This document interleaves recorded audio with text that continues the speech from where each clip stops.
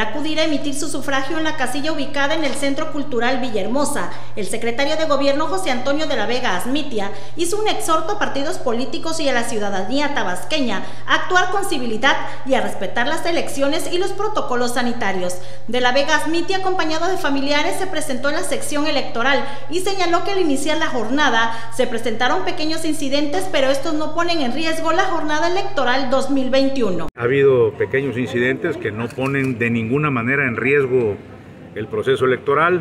El reporte que tenemos hasta este momento es de una buena eh, porcentaje de instalación de casillas.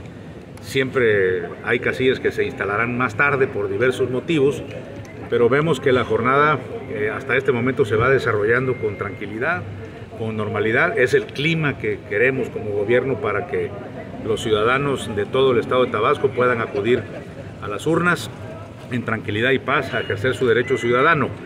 Eh, el llamado a los partidos, a los ciudadanos en general es a comportarnos, a cuidar el proceso, a respetar las leyes electorales, respetar la sana distancia, porque no se nos debe olvidar que seguimos en pandemia. El llamado es a que los ciudadanos acudan, de preferencia temprano, a ejercer su derecho ciudadano de votar, para que el día de hoy, como lo hemos hecho los tabasqueños de hace muchos años, las elecciones y los votos se cuenten, que sean las autoridades electorales las que digan la última palabra y los que, como suele suceder, estén inconformes pueden acudir por los cauces legales a los tribunales electorales respectivos.